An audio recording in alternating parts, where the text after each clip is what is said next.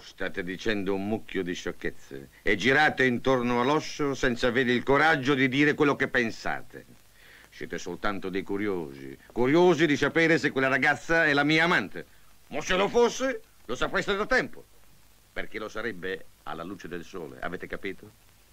Siete dei pettegoli maldicenti. Ma altro che moralità, decoro e balle del genere. Ma che stai dicendo, Giacinto? La Chiesa non... Mimmo ha Oh, ragione. ma lasciamo stare la chiesa, per favore. Lei ha ragione, don Giacinto, ma la nostra è curiosità legittima. Eh.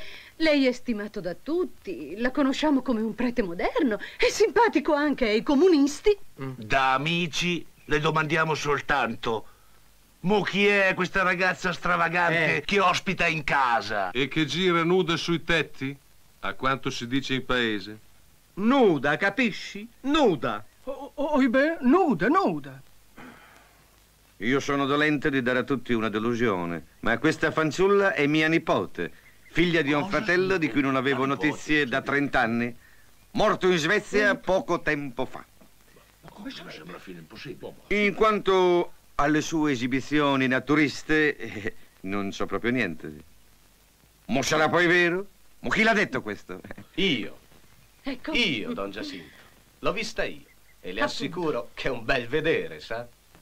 Ma lei non ha altro da fare, scusi. Ma sentamo bene, ma se davanti alla finestra mi appare una donna nuda, secondo lei che cosa faccio? Chiudo le imposte? Eh, vorrei vedere lei, don Giacinto. Eh, eh, scusi, sa, ma non volevo mica... Zoraide, Comandi, don Giacinto. chiama subito mia nipote. Avanti? Vostra nipote sarà anche amata.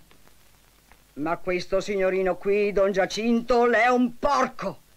Per vederla ha dovuto adoperare il binocolo. Eccomi, eccomi, sto arrivando.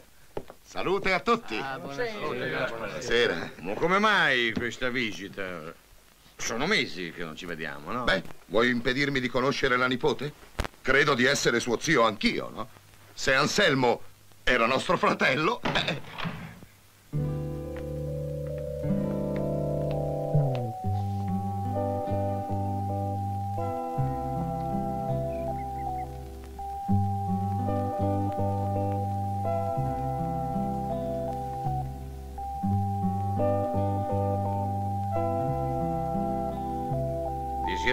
questi sono amici. E questo è lo zio Gaspare, l'altro zio. Io? Due zio? Due... e io, zio Gaspare.